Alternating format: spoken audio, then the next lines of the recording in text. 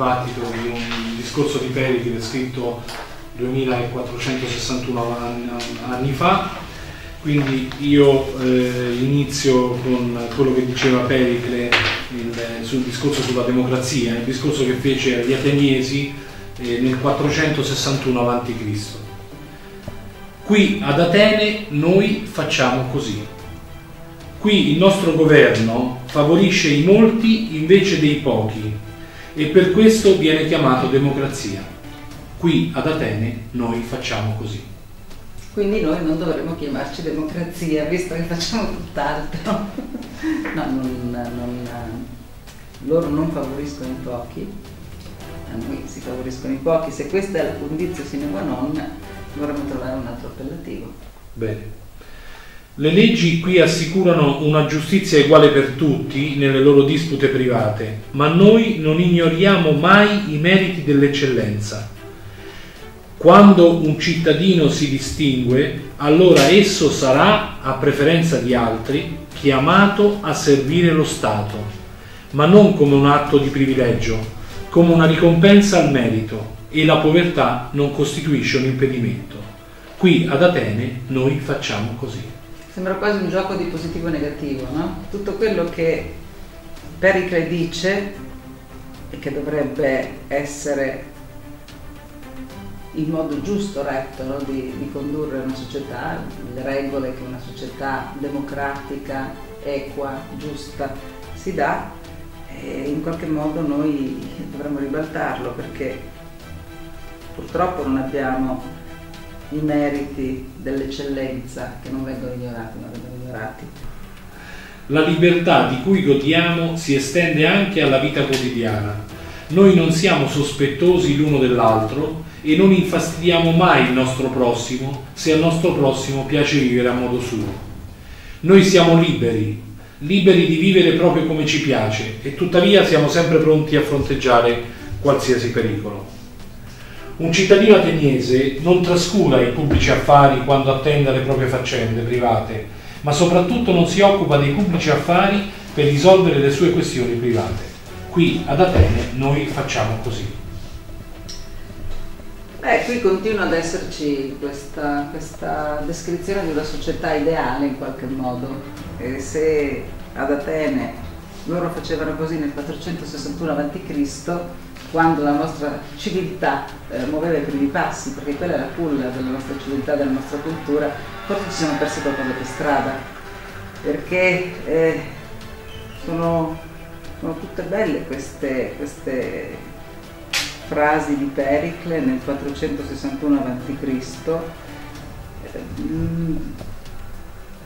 anche l'ultima non si occupa dei pubblici affari per risolvere le sue questioni private, eh, noi da quanti anni mm, è diventato eh, prima una sorta di, di, accusa che si faceva, no? l'uso privatistico della cosa pubblica, quando io lavoravo in RAI al tempo se ne parlava molto, adesso non se ne parla nemmeno più perché forse non più meno notizia. Ci è stato insegnato di rispettare i magistrati e ci è stato insegnato anche di rispettare le leggi e di non dimenticare mai che dobbiamo proteggere coloro che ricevono offesa.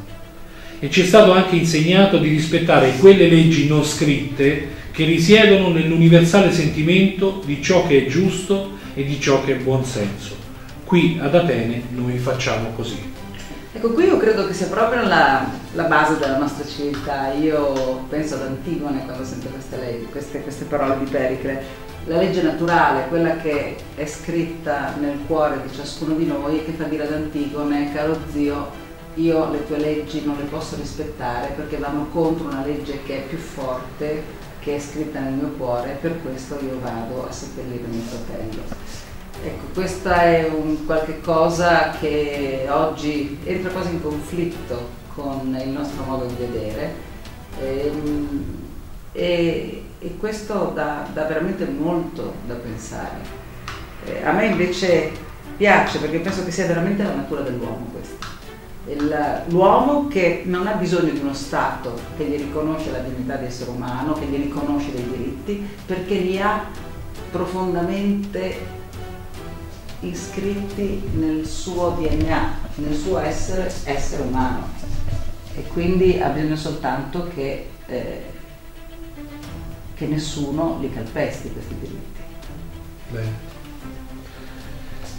Un uomo che non si interessa allo Stato, noi non lo consideriamo innocuo, ma inutile. E benché in pochi siano in grado di dare vita a una politica, beh, tutti qui ad Atene siamo in grado di giudicarla. Noi non consideriamo la discussione come un ostacolo sulla via della democrazia. Noi crediamo che la felicità sia il frutto della libertà, ma la libertà sia solo il frutto del valore. Insomma, io proclamo che Atene è la scuola dell'Ellade e che ogni ateniese cresce sviluppando in sé una felice versatilità, la fiducia in se stesso, la prontezza a fronteggiare qualsiasi situazione ed è per questo che la nostra città è aperta al mondo e noi non cacciamo mai uno straniero. Qui ad Atene noi facciamo così. Ecco che che tutti siano in grado ad Atene di giudicare la vita politica, anche se non ci vi partecipano in prima persona, è una cosa straordinaria. Mi piacerebbe poter chiedere a Pericle come avete ottenuto questo risultato, perché oggi non solo è difficile trovare persone che abbiano voglia di partecipare alla vita politica, ma è anche difficile trovare trovare persone che ti dicano che capiscono questa vita politica.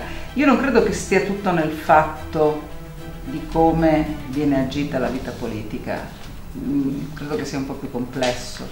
Eh, io credo che noi abbiamo eh, una ob- obiettiva difficoltà a creare e a formare una pubblica opinione, tant'è che spesso abbiamo riflettuto su questo problema. Io penso per esempio a Napoleone Nicolaiani, una persona che mi allontana culturalmente, ma che ha ragionato secondo me con molta onestà intellettuale sul fatto che noi in Italia non abbiamo degli intellettuali.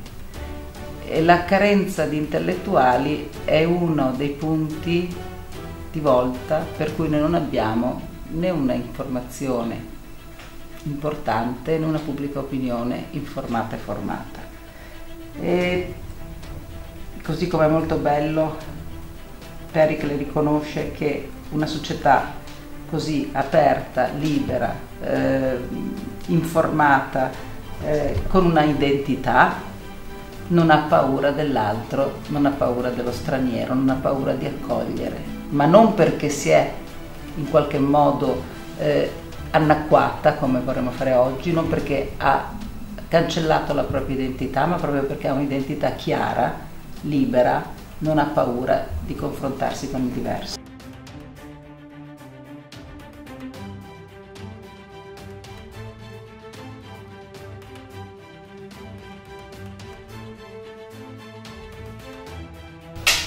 E quest'Italia, un'Italia che c'è, anche se viene zittita o irrisa o insultata, guai a chi me la tocca, guai a chi me la ruba, guai a chi me la invade. Oriana Fallaci. Mi scusi onorevole, ma questa frase non va in conflitto con quello che diceva Oriana Fallaci, perché Pericle dice, noi conclude, noi non cacciamo mai uno straniero, invece Oriana Fallaci conclude quest'Italia è un'Italia che, anche, che, se anche viene zittita o irrisa o insultata, guai a chi me la tocca, guai a chi me la ruba, guai a chi me la invade. Beh, se io accolgo una persona eh, straniera che viene educatamente in casa mia, mica non mi sta invadendo. Oriana una pers- era una persona eh, aperta, una persona che aveva girato il mondo, una persona che aveva amato eh, le altre culture ed era una persona aperta, con, una forte, lei, eh, con un forte radicamento nella sua, eh, nella sua tradizione, nella sua cultura e per questo aperta al confronto e all'incontro. Ma una cosa è l'incontro e una cosa è l'invasione, sono due cose completamente diverse.